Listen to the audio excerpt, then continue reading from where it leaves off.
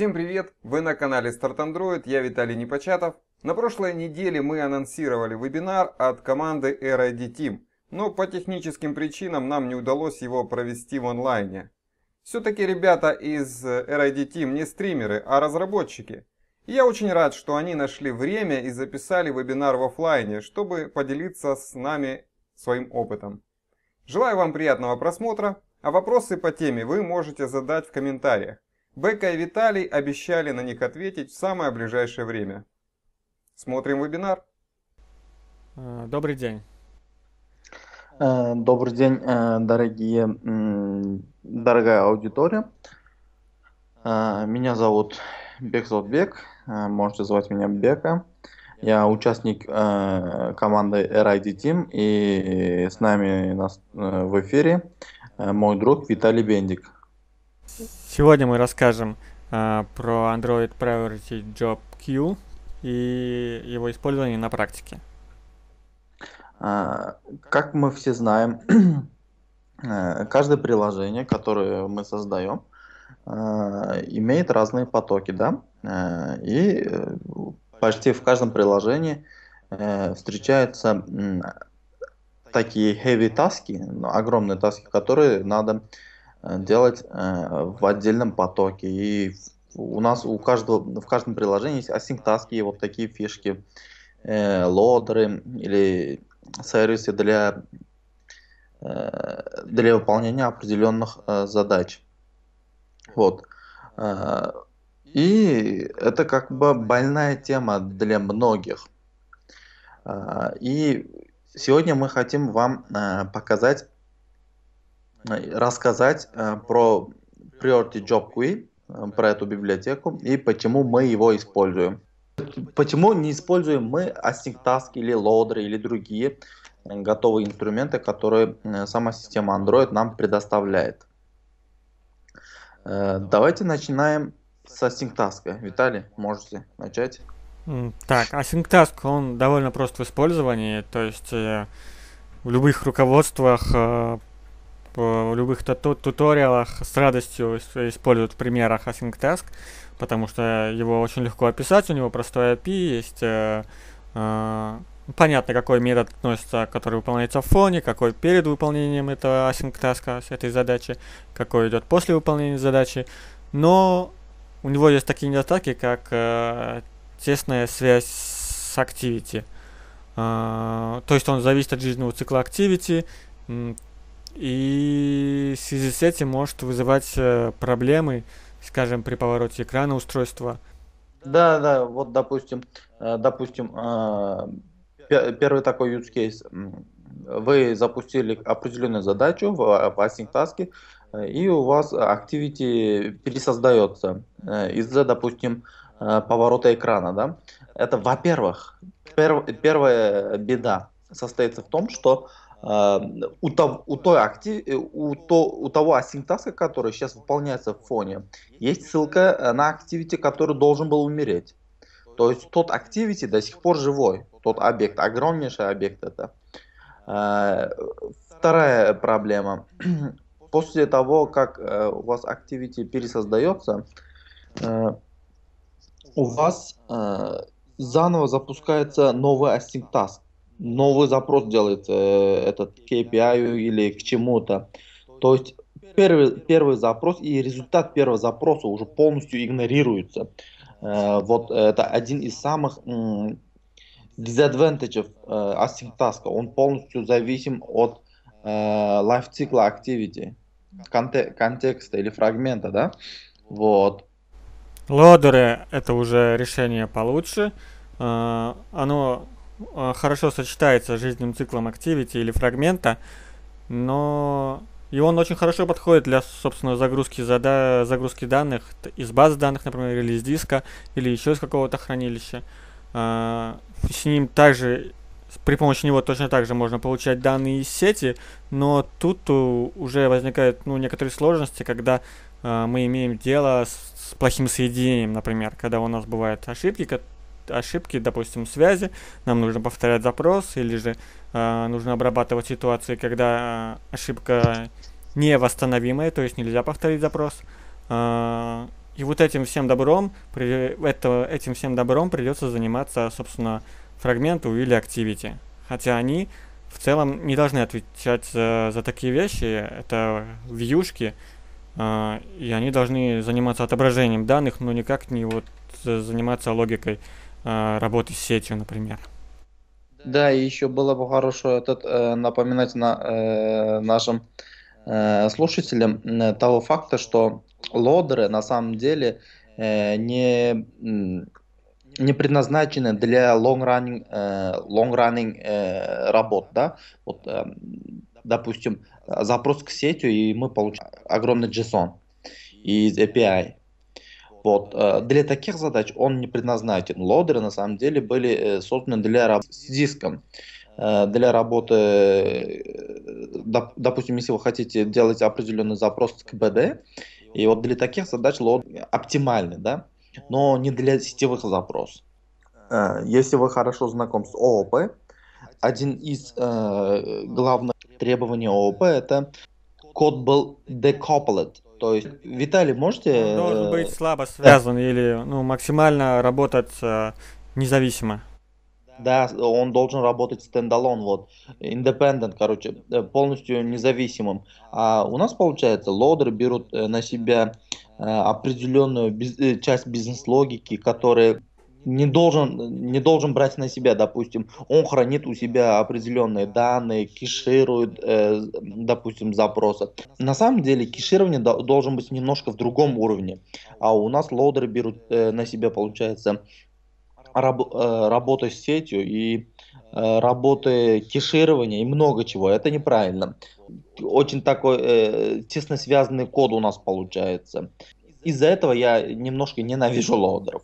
Но у нас есть очень хорошее решение, допустим, есть у нас в Android э, такое понятие, как сервисы, да, и есть даже э, отдельный класс Intent Service, который именно работает в отдельном потоке.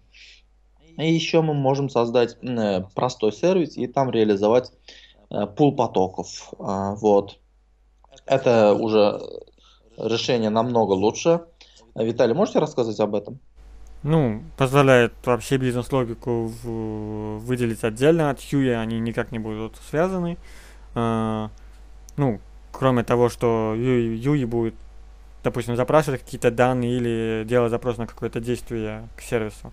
А, в общем, оно решает задачи, которые, проблемы, которые связаны и как с sync task, так и с лодерами. А, но при росте количества запросов, э, количества фоновой активности в приложении, либо растет количество таких сервисов, это уже очень много компонентов появляется в приложении, либо э, сам сервис э, разрастается и становится сложнее его поддерживать и расширять. Да, я полностью согласен. А, вот. И э, тут к нам э, придет на помощь, э, приходит на помощь э, наша библиотека э, Priority Job Queue как эта библиотека работает, э, это как бы все тут банально. Э, у вас есть job менеджер, который делает всю работу за вас. И у этого job менеджера есть очередь. Очередь э, для определенной, ну, очередь задач, да. Вы просто этому job менеджеру передаете задачу, он положит вашу задачу в очередь, и как только приходит очередь наш, э, к нашей задаче, наша задача выполняется. А, а какие преимущества есть у библиотеки? А, во-первых, она никак не связана с жизненным циклом activity или фрагмента. Она поддерживает приоритизацию фоновых задач. Допустим, у нас какие-то задачи, по идее, должны иметь больший приоритет, чем другие. Например, у текста всегда есть приоритет перед изображениями. Он должен загружаться как бы раньше поддерживает группировку задач. Э, допустим, э, мы можем какие-то задачи группировать, ну, по какому-то признаку, например, это задачи, которые э, занимаются... Можете сразу примеры приводить? Организацией данных. Да, я, в принципе, здесь список преимуществ ее видны, я их перечислю просто. Это группировка uh-huh. задач, запуск задержкой, персистентность фоновых задач, контроль соединения с сетью, балансировка нагрузки, поддержка dependency injection – и она очень хорошо работает вместе с ивент-басами. А сейчас мы пройдемся подробнее по вот этим пунктам уже с наглядно, на наглядном примере. Так вот так выглядит создание job менеджера. Собственно, ее можно сконфигурировать как удобно и задать там некоторые параметры. Ну, это, можно сказать, минимальная конфигурация, где все по дефолту, все настройки дефолтные. А, ну да, да, если вы заметили, тут э, Job Manager э, получает Based Application Context, это не Activity, не, не, не Service или не фрагмент, это просто application, короче, instance application класса можно, или просто у любого контекста берете Base Application контексте передаете, то есть он не связан с нашим а, Activity. Не job менеджер и не джобы. То есть они выполняются всегда э, незави... ну, independent. Мы упомянули балансировку нагрузки.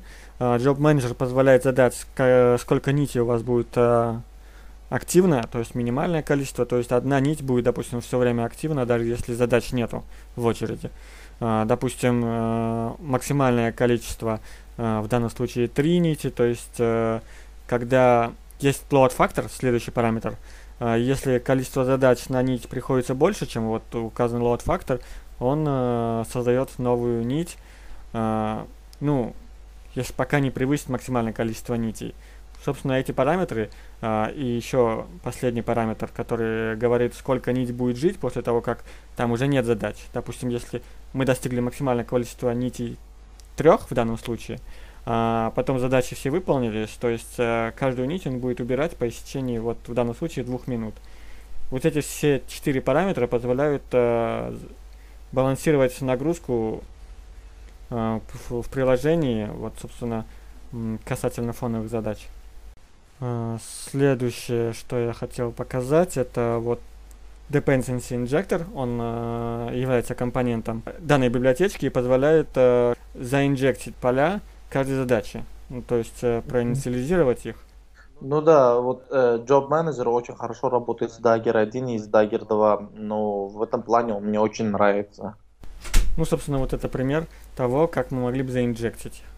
Э, здесь э, мы можем, э, собственно, прикастить job э, к base job, и в base job будет, э, скажем, абстрактный метод, ну, э, inject. И то есть вызвать у каждого джоба этот метод, и он будет э, инжектить э, свои зависимости. Вот. Дальше. Вот так выглядит примерно э, задачи. Э, в конструктор к каждой задаче обязательно принимает э, параметры этой задачи, и обязательно хотя бы приоритет должен быть указан. Это дальше, чуть дальше я расскажу о приоритизации. А, вот эта данная задача имеет э, несколько методов, то есть э, callback, которые срабатывают при добавлении задачи, при того, как она начинает выполняться, callback on run, и при отмене задачи, если там какая-нибудь ошибка происходит или просто пользователь отменяет задачу. Да, вот э, я, я бы хотел рассказать вам, э, вот когда срабатывает on cancel. Э, скажем так, э, у нас Э, код выполняется, дан, данное время код выполняется в методе onRun, э, то есть в отдельном потоке, и кидается определенный exception, да, то есть, допустим, если тут мы обращаемся к API, и мы получили 404, и, допустим, у нас Retrofit именно тут э, кинул ошибку. Э, у джобов э, есть такой метод shoot rerun, то есть э, я должен ли я э, перезапускаться. Э, и еще можно передать лимит реранов, ну, то есть э, перезапусков. Э, допустим, у вас бывают многие такие, у многих, наверное, были такие моменты, когда приложение работает в зонах там, где нестабильная сеть. Допустим, Edge да, connection или 2G connection по разным причинам э, обрывается связь э, во время передачи данных, то есть э, кидается exception в методе onRun. И мы сразу в мет, и этот throwable мы получаем в методе should rerun, ну короче, то есть должен ли этот... Надо ли повторить выполнение, если ей не удалось выполниться? Да, вы, вы смотрите, если какая-то непонятная ошибка или ошибка из-за обрыва сети, вы скажете, да, повторяйся. И э, исходя, исходя из вашего лимита, допустим, 3, да, у вас стоит, ну, по умолчанию у джобов 3. Три раза он повторяет этот запрос сам автоматом. И после третьего раза э, он э, возвращает false, should rerun. То есть все, короче, три раза мы повторили, ну реально сети нету, да, получается, или реально плохой, э, плохой connection. После этого он cancel срабатывает. Э, вот э, логика срабатывания он cancel вот такова. Да, если мы говорим именно о сети, будет показано дальше Job Manager занимается прослушкой сети и сетевые задачи он не будет кидать на выполнение, если сеть недоступна. Но об этом мы чуть позже упомянем еще раз. Так, добавляется задача в очередь очень просто, то есть uh, берется экземпляр Job Manager и вызывается метод job, в, него передается, в этот метод передается, собственно, задача. Uh, приоритизация. Вы видели этот слайд раньше, Э, но там не было выделено вот этот момент. В общем, приоритет э, задается произвольным числом. Чем больше число, тем выше приоритет у данной задачи. Э, можно, как в данном случае, просто вынести в интерфейс некоторые константы и пользоваться ими. Допустим, сделать там три типа приоритета, средний, большой, маленький, и пользоваться ими. Э, ну, приоритет это единственный параметр, который обязательно требуется джобу. Да, вот э, я бы хотел э, немножко рассказать о приоритете, точнее, как мы используем в практике, да. Э, мы сразу делим э, приоритет, э, UI приоритет, то есть э, все задачи, которые напрямую относятся к, UI элементам, да, допустим, листы и так далее, и так далее. Мы качаем определенный контент, чтобы показать в UI. Ну, это у нас э, job, э, вот э, в эту группу входят джобы с высшим приоритетом, UI приоритет, это, допустим, десятка. Вот. И у нас есть еще фоновые задачи, sync, скажем так, sync. Э, и у него приоритет где-то 6. Ну, э, допустим, мы группируем джобы по UI, по э, фоновым задачам, которые для синхронизации, да, допустим, иногда используются. И всегда у нас есть как бы базовый класс для фоновых задач, базовый класс для UI, для обновления UI. Вот, э, и у них мы сразу в конструкторе указываем, короче, у тех джобов, которые наследуются от этого джоба, приоритет вот такой. Вот в практике мы вот так используем обычно. Так, пройдем дальше. Сетевые задачи. Собственно, касаясь сетевых задач. А, в чем их а, особенность от других задач? В данном случае Job Manager, он отслеживает сеть, и если на момент вызова метода addJob сеть недоступна, то он не вызовет onRun для этой задачи. То есть он вызовет onRun именно в тот момент, когда вот сеть будет, и эта задача просто сможет реально успешно выполниться. Job а, менеджер а, сам отслеживает, когда сеть появляется, когда сеть уходит. Да, допустим, если у вас э, ваша, э, ваша задача, ваш job э, требует сети, э, как только вы э, добавляете вашего джоба в job manager, э, в то время, когда у вас э, сети нету, Э, этот job выполняется, и, допустим, э, в onRun методе у вас есть э, определенные, ну, вы тянете определенного метода, допустим, ретрофита, да, то есть от ретрофита, от, от Retrofit сервиса вы спрашиваете, дай мне это. И при этом тут Retrofit кидает exception, извиняюсь, 404 или, ну, вообще-то unknown host exception, так как хоста я не могу найти. Вот, э, то есть, и сразу он cancel срабатывает. То есть, э, по идеологии джобов у вас job выполнился. Ну, успешно, не успешно, это уже второй вопрос. Э, вот когда вы сразу отмечаете required network, он не будет э, выполняться э, при отсутствии э, нетворка. Так, дальше. Группировка задач. Задачи можно сгруппировать по какому-то, ну, признаку, допустим, у вас задачи, которые занимаются синхронизацией, или, допустим, э, самый такой яркий пример, у вас мессенджер и сообщения. Мы их можем группировать по ID беседы. То есть нам нужно, чтобы задачи в строгой последовательности дошли на сервер, и мы их группируем, и тогда они будут друг за дружкой выполняться, э, и у вас э, не окажется, что у вас последнее сообщение на самом деле отправилось на сервер первым. Да, вот э, в примере это. Э, у вас есть э, мессенджер, и, допустим, э, у меня есть два, э, две группы, да, или две собеседника. Это первый э, мой друг Виталий, второй э, наш общий чат э, RID Тима. Вот. Я пишу Виталику, и у меня там, допустим, все джобы, которые, скажем так, добавляются ну, все джобы, которые кидает сообщение к именно для Виталик, э, группирую я э, по имени Виталик, а для RID Team, скажем так, группирую по метку RID Team. А, персистентные задачи. Персистентные задачи э,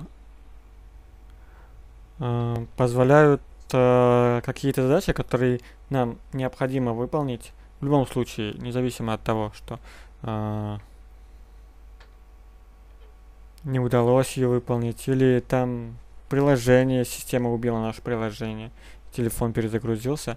Uh, вот, uh, вне зависимости от всех вот этих возможных случаев, нам нужно выполнить эту задачу. Бывают такие задачи, и persist позволяет сохранить эту задачу. На самом деле она сохраняется в SQL базу, она сериализуется и сохраняется в SQL базу, uh, в SQLite базу. И следующий раз, при следующем запуске приложения э, э, Job Manager попытается ее выполнить снова. Это бывает важно, не знаю, например, отправка токена на сервер, э, токена Google Cloud Messages, или какие-то такие задачи, которые нам обязательно необходимо выполнить. Дальше. Запуск задержкой. Uh, опять же, касательно примера с Google Cloud Messages, uh, например, uh, у нас первый старт приложения, оно активно качает данные, и оно и так нагружено, сеть и так нагружена, и нам приоритетнее было бы получить данные сначала, а уже потом там отправить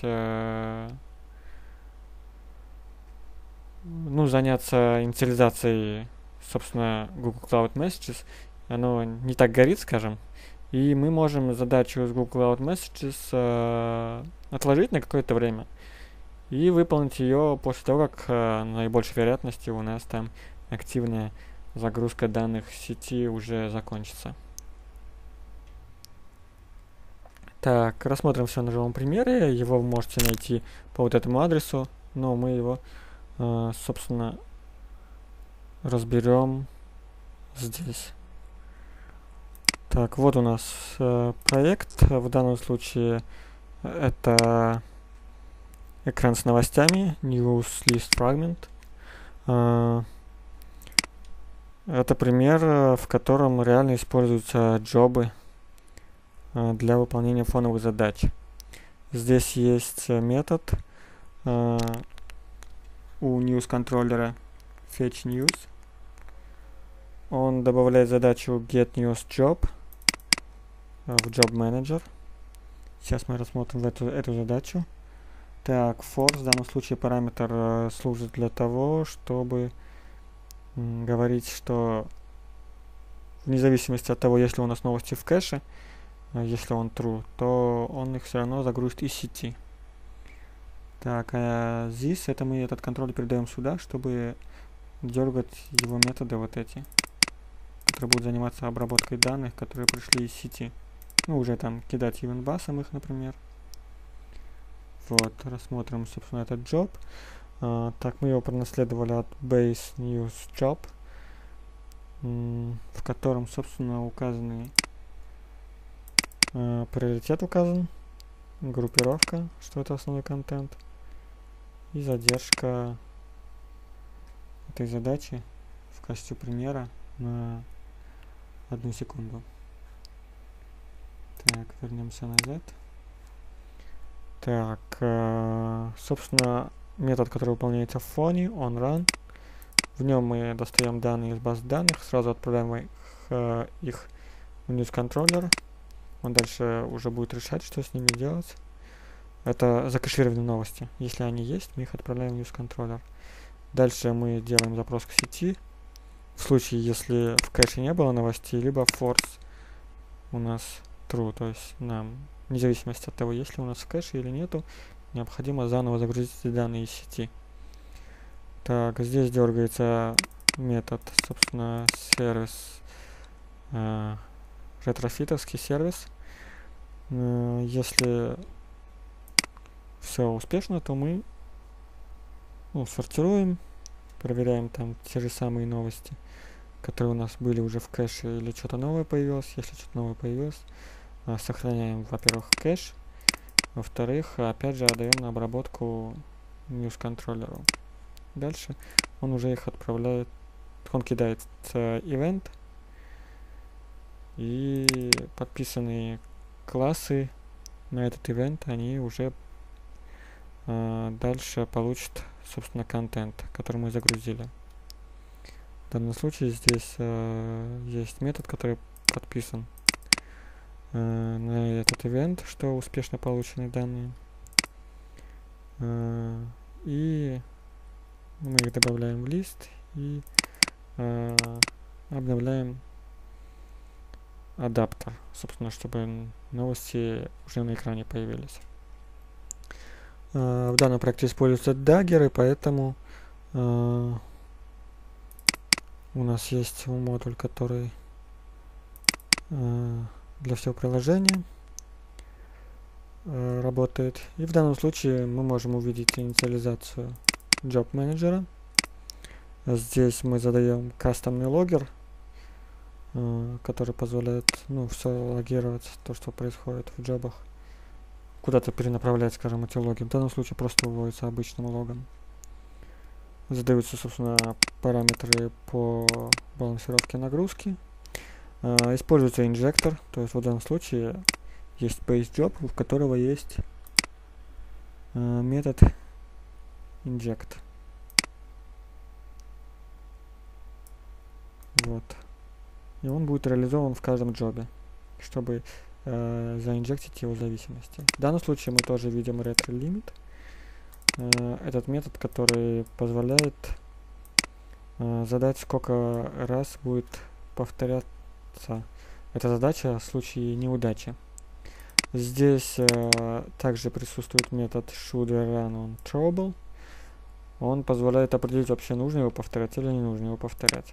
Э, важной, важной особенностью здесь является, что здесь э, мы э, задаем retro constraint э, и можем задать экспотенциальные э, задержку при повторе задач. То есть он не будет там долбиться постоянно. А то есть раз не получилось, он чуть попозже еще раз попробует, еще чуть попозже попробует. Вот. Собственно, мы рассмотрели, как вот реально job используется в проекте. Спасибо за внимание. На этом вебинар окончен. Спасибо Виталию и Бэксотбеку за ценную информацию. Вопросы ребятам можно задать в комментариях, а в описании есть ссылки на слайды и исходный код. Всем спасибо, смотрите наш канал, создавайте приложения. С вами был Виталий Непочатов. Всем добра!